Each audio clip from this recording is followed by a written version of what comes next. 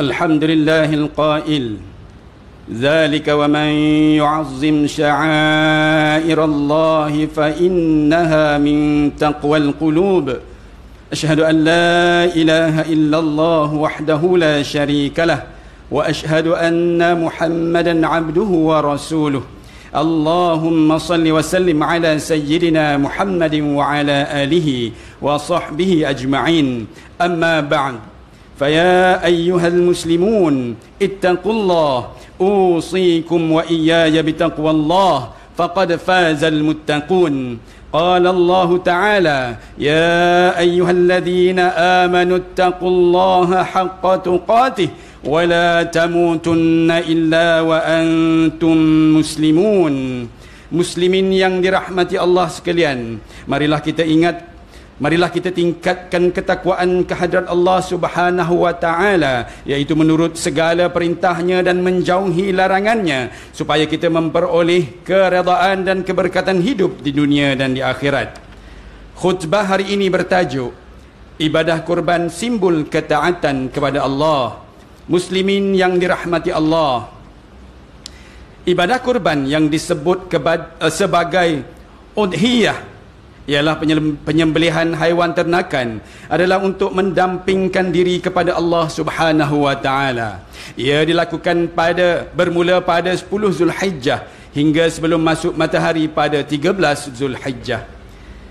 Ibadah kurban berperanan sebagai platform bagi seseorang untuk menzahirkan kesyukuran kepada kehadrat Allah Subhanahu wa taala di atas nikmat dan di atas nikmat yang dilimpahkannya ia juga merupakan sebahagian daripada syiar Islam dan sebagai tanda takwa hati dan kehambaan orang-orang yang beriman. Firman Allah Subhanahu wa taala dalam surah Al-Hajj ayat 32 yang dibaca pada permulaan khutbah ini yang bermaksud Demikianlah yang ini ajaran Allah dan sesiapa yang menghormati syiar-syiar agama Allah maka dialah orang yang bertakwa kerana sesungguhnya perbuatan itu satu kesan dari sifat-sifat takwa hati orang mukmin.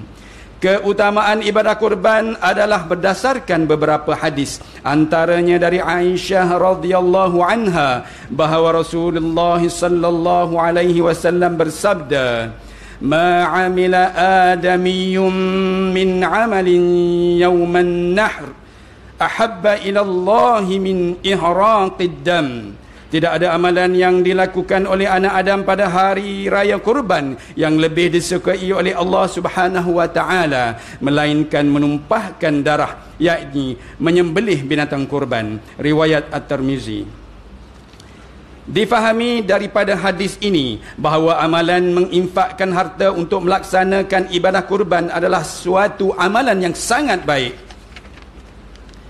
Muslimin yang dirahmati Allah pensyari pensyariatan ibadah kurban terdapat di dalam Al-Quran dan Al-Sunnah. Seperti firman Allah Subhanahu wa taala dalam surah Al-Kautsar ayat 1 hingga 3 Al-kautsar fasalli li rabbika wanhar fasalli li rabbika wanhar inna shani'aka huwal abtar Sesungguhnya kami telah mengurniakan kepadamu yakni kepadamu wahai Muhammad kebaik kebaikan yang banyak di dunia dan di akhirat. Oleh itu, kerjakanlah sembahyang kerana Tuhanmu semata-mata dan sembelihlah kurban yakni sebagai bersyukur sesungguhnya orang yang bencikan engkau dialah yang terputus dari mendapat sebarang perkara yang diingininya. Menurut as-sunnah pula, kelebihan berkorban ialah Titisan darah korban yang pertama merupakan pengampunan bagi dosa-dosa yang lalu. Imran bin Husin radhiyallahu anhu meriwayatkan bahawa Rasulullah sallallahu alaihi wasallam bersabda kepada Fatimah radhiyallahu anha yang bermaksud, "Wahai Fatimah, pergilah ke tempat penyembelihan korbanmu dan saksikanlah ia. Sesungguhnya titisan darahnya yang pertama itu merupakan pengampunan bagimu di atas dosa-dosamu yang lalu. Riwayat Al-Hakim. Demikian juga bagi setiap helai rambut dan bulu binatang yang dikorbankan ada kebajikannya. Darah korban yang tumpah ke bumi akan mengambil tempat yang mulia di sisi Allah Subhanahu wa taala. Aisyah radhiyallahu anha meriwayatkan bahawa Rasulullah sallallahu alaihi wasallam bersabda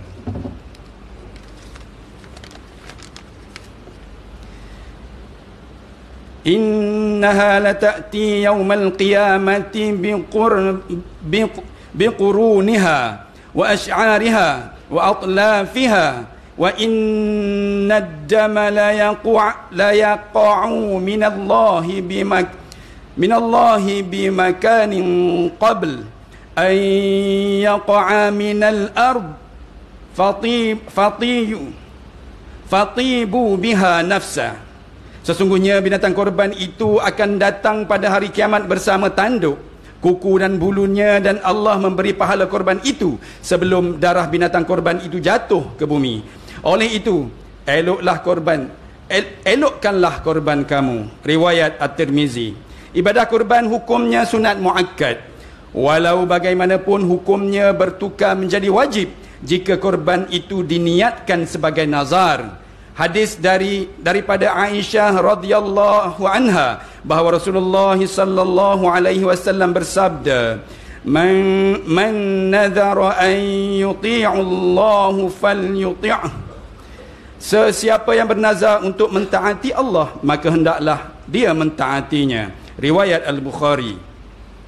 Muslimin yang berbahagia Sebagaimana dimaklumkan, penyembelihan binatang korban ini hanya datang setahun sekali. Oleh itu, jika kita berkemampuan, janganlah lepaskan peluang keemasan ini demi mengharapkan ganjaran dan keredaan Allah Subhanahu wa taala. Marilah kita semarakkan syiar Islam ini selagi hayat di kandung badan. Marilah kita menjadi menjadikan Idul Adha tahun ini lebih meriah dengan menginfakkan harta yang dianugerahkan kepada kita muslimin yang dirahmati Allah.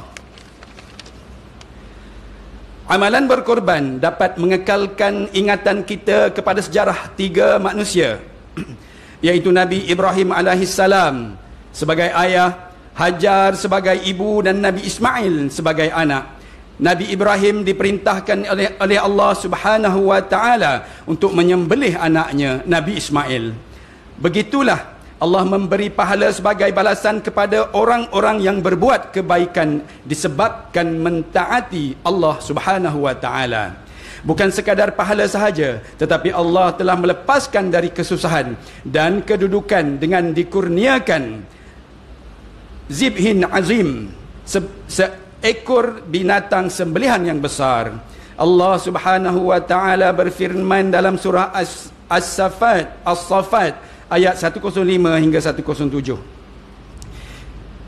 qad saddaqta ru'ya inna kadzalik inna kadzalika najzil muhsinin inna hadza lahuwal bala'ul mubin wa fadainahu bidhihin azim engkau telah menyempurnakan maksud mimpi yang engkau lihat itu. Demikianlah sebenarnya kami membalas orang-orang yang berusaha mengerjakan kebaikan. Sesungguhnya perintah ini adalah satu ujian yang nyata dan kami tebus anaknya itu dengan seekor binatang sembelihan yang besar kepatuhan Nabi Ibrahim alaihi salam untuk menyembelih satu-satunya putra satu-satu puteranya itu memaparkan kekuatan iman dan keteguhan mental Nabi Ibrahim alaihi salam yang begitu kental. Pengorbanan yang ditunjukkan oleh Nabi Ibrahim alaihi salam ini hendaklah hendaklah diterapkan dalam semua tindak tanduk individu ke arah membina ummah wibawa.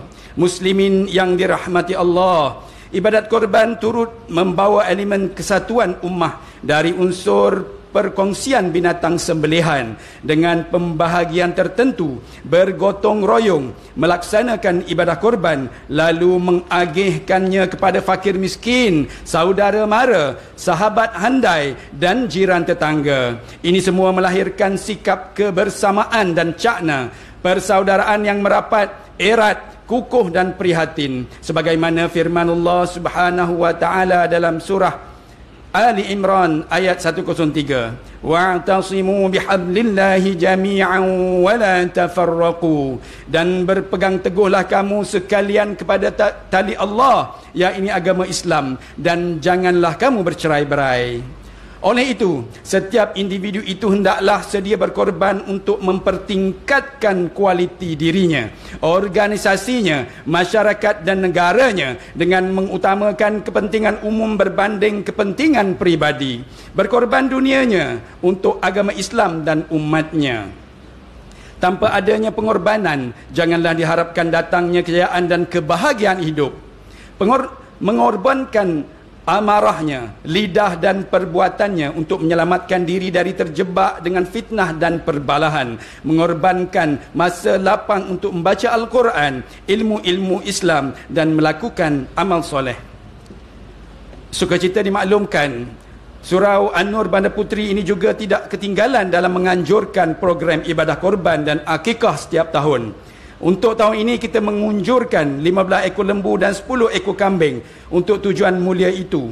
Dengan lembu anggaran berat hidup 305 kg, RM 831 bahagian dan kambing dengan anggaran berat 30.5 kg, berat hidup RM 1250 seekor. Masih ada bahagian-bahagian lembu dan kambing untuk sidang Jumaat semua mengambil bahagian dan akan berakhir pada tengah malam nanti. Sila berhubung dengan khatib atau pengurusi surau atau AJK dilantik untuk tempahan. Saudara-saudara kaum muslimin sekalian, bagi mengakhiri khutbah ini, marilah kita menghayati saranan berikut. Satu, umat Islam hendaklah yakin bahawa amalan penyembelihan binatang kurban adalah syariat yang ditetapkan oleh Allah Subhanahu wa taala. Kedua, umat Islam yang rela menginfakkan harta untuk menyertai ibadah kurban membuktikan simbol kepatuhan dan ketaatan kepada Allah Subhanahu wa taala. Ketiga, umat Islam hendaklah menjadikan falsafah dan inti ibadah korban sebagai pendorong kepada kesatuan ummah untuk negara yang lebih sejahtera, aman dan makmur. Keempat, umat Islam hendaklah sentiasa berkorban untuk menyelamatkan dirinya dan diri orang lain dari kemurkaan Allah Subhanahu wa taala dan azab api neraka. A'udzubillahi minasyaitonirrajim. Wa ma anfaqtum min syai'in fa huwa yukhlifuhu wa huwa khairur raziqin. Dan apa saja yang kamu dermakan maka Allah akan menggantikannya dan dialah jua sebaik sebaik-baik pemberi rezeki. Surah saba ayat 39 barakallahu li wa lakum fil qur'an بارك الله لي ولكم في القرآن العظيم ونفعني وإياكم بما فيه من الآيات والذكر الحكيم وتقبل مني ومنكم تلاوته إنه هو السميع العليم. أقول قولي هذا وأستغفر الله العظيم لي ولكم ولسائر المسلمين والمسلمات فاستغفروه إنه هو الغفور الرحيم.